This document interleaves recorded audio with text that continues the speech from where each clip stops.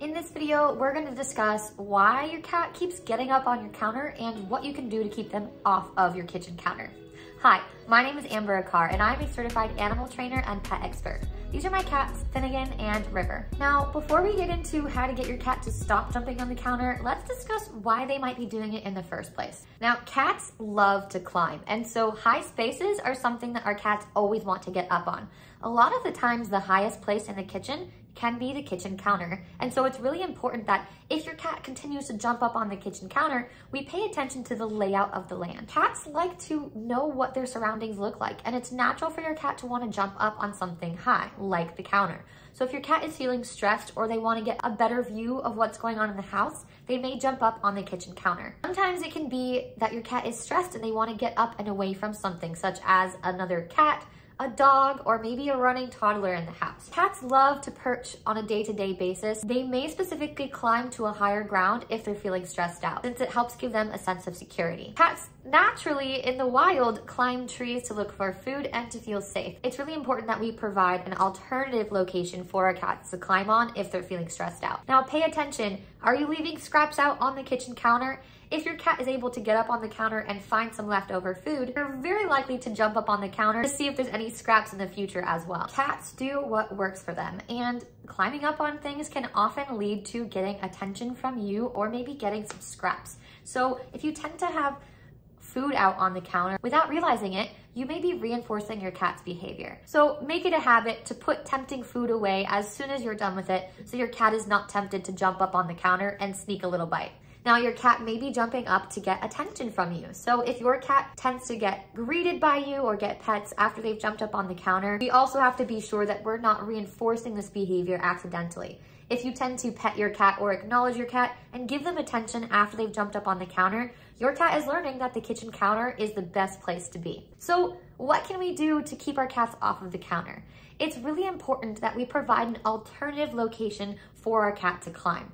Cats love being up high, and if the highest place in the kitchen is the kitchen counter, your cat's going to jump up on the counter 100%. Seeing as climbing is a natural instinct for cats, we want to support this and create an enriching environment for them in a location that we would prefer them to be. Providing plenty of high spaces for your cat to climb and explore such as cat trees, shelves, perches, and other alternative options for your cat's climbing behavior beside the kitchen counter. A cat tree with multiple tiers is a great and engaging option for an energetic cat. Finding a cat tree that has scratching elements to it can help prevent some other behavior problems as well. If you're low on space, maybe consider a window hammock for your cat. These are a great option because they take zero floor space and are both a vantage point and a comfy place for your cat to nap or lounge. Just make sure that you're finding one with enough support to handle the weight of your cat. One that I use supports up to 30 pounds of cat, so both of my cats can technically sit on this one together. Now, if you've given your cat an alternative location to go to besides the counter, but they're not always going to it and they're choosing the counter instead, what we can do is we can reward our cats for stationing somewhere other than the counter. So I like to do this, especially when I'm preparing food, so that my cats are being reinforced somewhere other than the kitchen counter.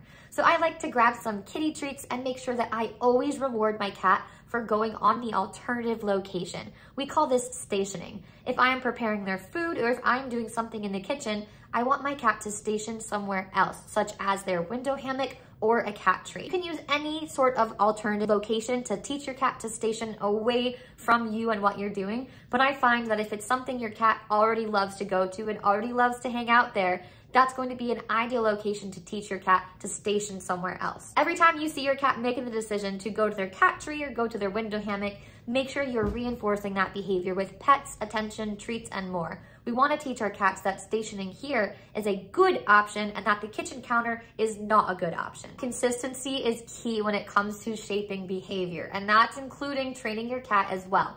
Yes, you can train your cat, but if you are not consistent or there are people in your house that are not being consistent, your cat is never going to learn what they're not supposed to do. It's really important that everyone in your household is on the same page. We wanna make sure that our cat is not receiving mixed messages. If you're teaching your cat to not jump on the counter, but someone else in your house is still petting the cat and encouraging the behavior, then your cat is never going to figure it out. So make sure you're being clear and consistent for your cat so they can learn what their boundaries are. Don't forget to be patient teaching your cat to shape new habits and forget old ones is going to take time. So patience, time, and consistency is where it's at. Now, you can also use some deterrents to keep your cat off of the counter. However, we don't want to terrify our cat and get them to be afraid of us. So it's important that we use safe and effective tools to be fair to our cat when we're training them. Using something like double-sided tape on the counter can be a great way to teach your cat to not enjoy hanging out on the counter.